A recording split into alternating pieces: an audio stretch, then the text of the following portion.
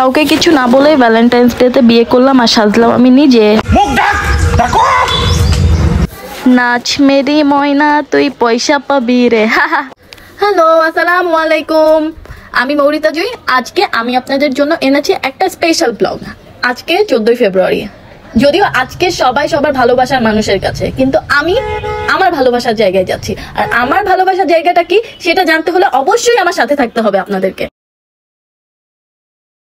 সকাল সকাল বেরিয়ে পড়লাম আমার গন্তব্যে। যখন সবাই ঘুমাচ্ছিল অলমোস্ট আমি তখন বেরিয়ে বেরিয়ে গিয়েছিলাম।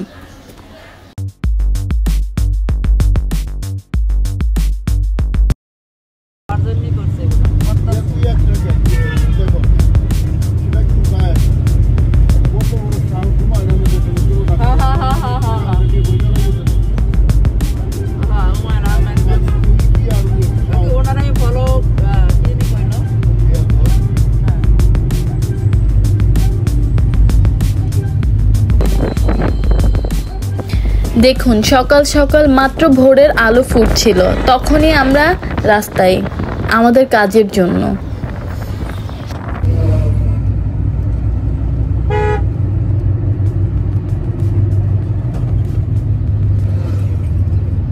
দেখুন, প্রায় দু ঘণ্টা পরে আমরা আমাদের গন্তব্যে পৌঁছে গেলাম। কি, একটু পরিচিত লাগছে না? এবার হয়তো আপনারা বুঝতে পারছেন আমি কোথায় এসেছি।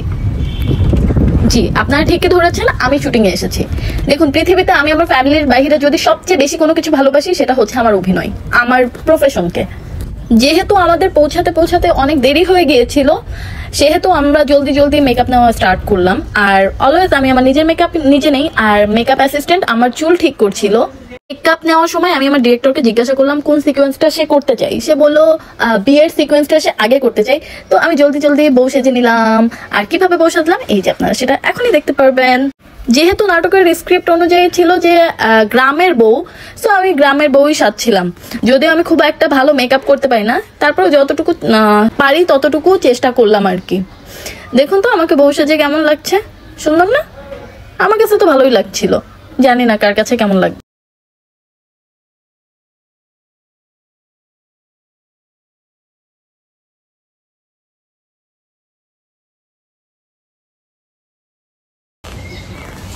আবারও একই হাউসে চলে আসলাম শুটিংয়ে ভ্যালেন্টাইন্স ডেতে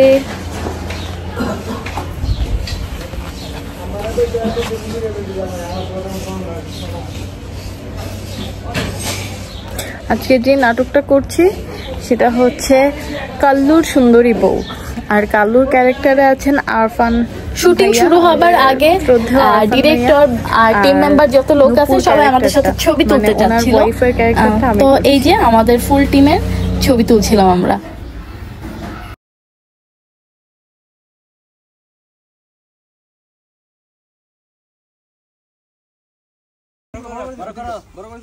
বড় করে তুলো। আমি বাদ থাকব না হ্যাঁ,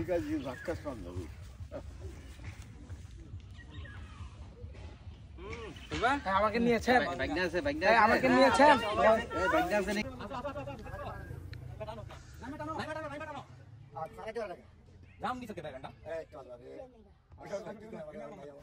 আমি শুধু আমার আজকের এই নাটক নিয়ে বলব যে নাটকটা খুবই সুন্দর খুবই ফানি একটা ক্যারেক্টার ছিল আরফান ভাইয়ের। খুবই কমেডি টাইপের একটা